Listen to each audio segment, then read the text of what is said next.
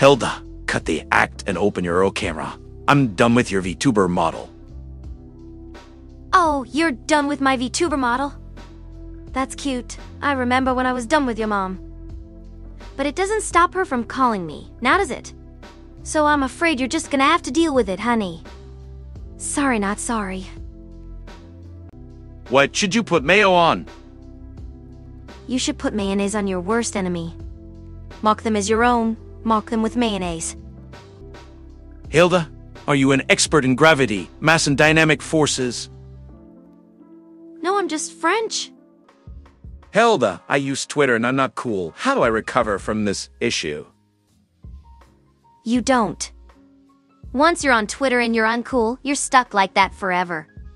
It's like quicksand. The more you struggle, the deeper you sink. Soon, you'll be trapped in a void of bad takes and dogpiling. You better make peace with that, kiddo. Hilda should be an Earl steamer.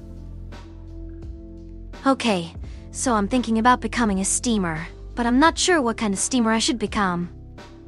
I'm thinking a rice steamer could be cool, or maybe a clothes steamer. Thoughts? Hey chat, do you guys want to see a special stream where I only ban dev? I think it could be very fun and entertaining. What you guys think? Dev, you know, sometimes I think you're just doing all this because you're bald and you're angry at the world. Is that it? Did I hit the right spot? Are you bald and angry, Dev? Is that what it is? A French talking about pronunciation I can't. Hey! I can talk about pronunciation. I just can't pronounce things correctly. But I can talk about it. Like, the other day someone was trying to teach me how to pronounce supercalifragilisticexpialidocious, but I kept saying superfragilexpialidocious. It was hilarious! Everyone was laughing! At me. They were laughing at me. Hild, what are five steps to be the best VTuber?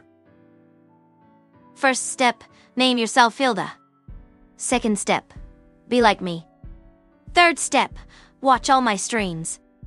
Fourth step, watch them again.